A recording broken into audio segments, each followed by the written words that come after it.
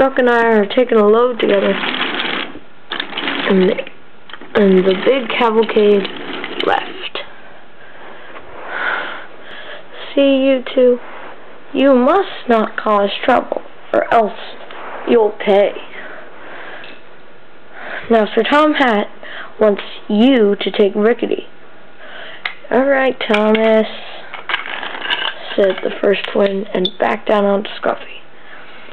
You must shunt a brake van. Fine. Thomas ruins all the fun. Yeah. Let's play some more tricks. And so, they did.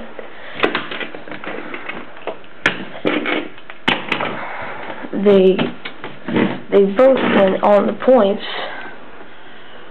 when when a runaway when a runaway chocolate car came speeding